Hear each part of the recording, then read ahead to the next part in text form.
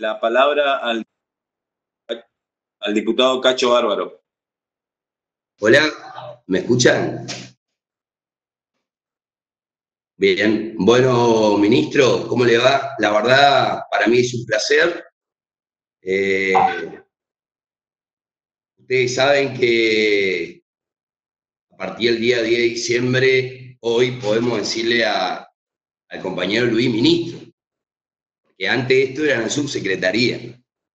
Es decir, que la verdad, eh, el orgullo mío es decirle ministro, ¿no? Eh, porque este gobierno decidió darle valor a la agricultura en, este país.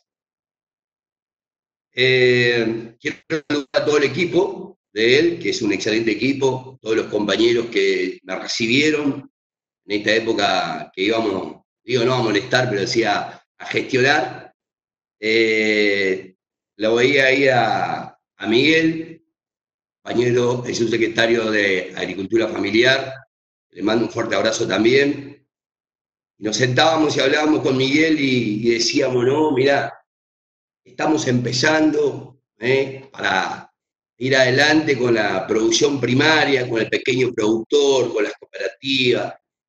Teníamos esa ilusión que teníamos que primero arreglar el tema de las retenciones, después fue el tema de la deuda y después vino lamentablemente esta pandemia, ¿no?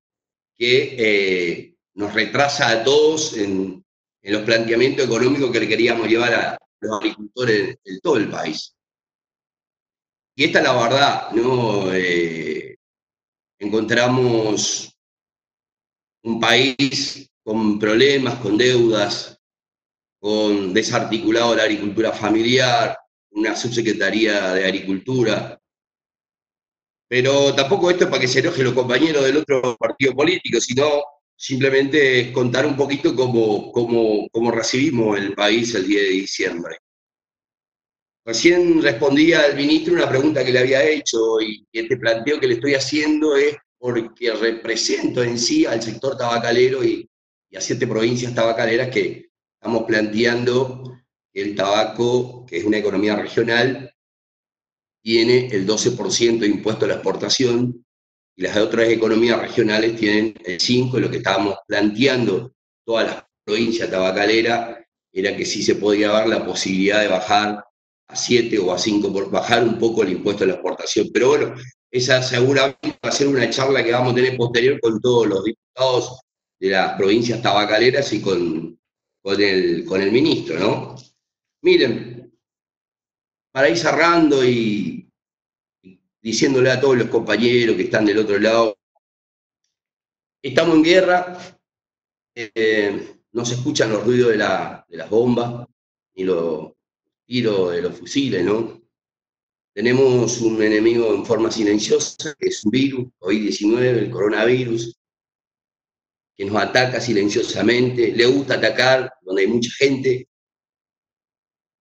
le gusta atacar más fuertemente a nuestros abuelos, a nuestros padres, a los que forjaron este país, a los que crearon la Argentina.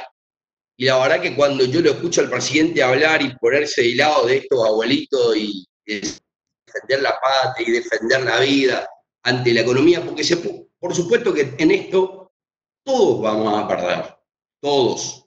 No va a haber argentino que no va a salir después de esta crisis, de esta pandemia, con problemas económicos, pero todos juntos tenemos que salir acá. Acá no hay distinción política ni nada. Y después de esto seguramente va a venir la posguerra, ¿no? después de, toda esta situación económica, que ya veníamos atravesando el problema económico, va a venir la posguerra.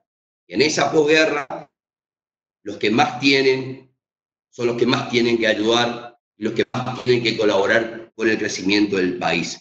Ese es el momento que le hago a todo el mundo y seguramente que hoy todos nosotros, sin diferencia, digo nuevamente, de ideología política, tenemos que pensar en aquel compañero que hoy no tiene un plato de comida y ahí tenemos que ir todos nuestros esfuerzos, como lo está haciendo el presidente Alberto Fernández y su equipo del Poder Ejecutivo. Así que muchas gracias y decirle a, me está escuchando ahí Luis, ¿no? Hola, ¿Mirín? ¿Me escucha Luis? Mente, Cacho, querido. Bueno, Sí, que sí, voy a hacer el cambio de domicilio. yo te escucho. me voy a hacer el cambio de domicilio a Formosa, porque si Dios vive allá, Haces bien, haces bien. Chao, hermano. Chao a todos. Gracias y realmente felicitaciones al presidente de la comisión, eh, al compañero Sergio Massa y, a todos los diputados que estuvimos en esta teleconferencia.